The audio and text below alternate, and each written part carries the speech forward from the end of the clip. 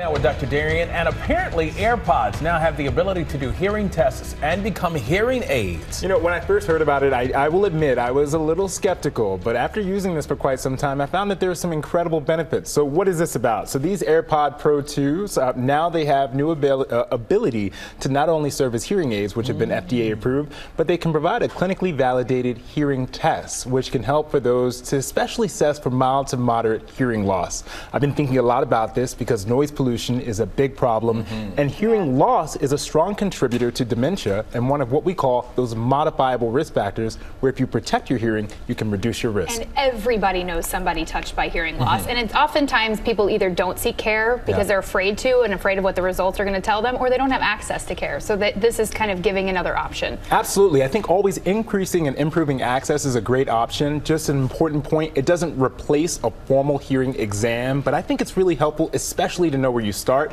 Once you take the hearing tests on this, it can modify the adjustments on the AirPods so that when you use them, it can provide a more quality experience and also, most importantly, protect your hearing. Yeah. So again, how does it work? Yeah, especially so, when you're getting those results from the mm-hmm. test. Well, the test needs 10 minutes of quiet time, which remarkably is a lot harder than you think to find. Yesterday, I didn't realize how difficult it might be, but I do live in the city. You need 10 minutes of quiet time. It assesses your hearing just the same way you might remember it as a kid. Is when it you get different app? sounds. It's through an app on the on the on iPod, the, yeah. excuse me, on the uh, iPhone, yeah, and iPhone. you can download it for free. And so you can just download it for free. It's a part of the update. You have to have the AirPod Pro 2. These have been around for about two years. You download it, you take the test, and it can give you a result. You can even take your hearing test from your audiologist and upload that to, so to even be useful. I think it's helpful. Wow. Yeah. Thank you, Dr. Come on, technology. Yeah, it's amazing. Incredible, right?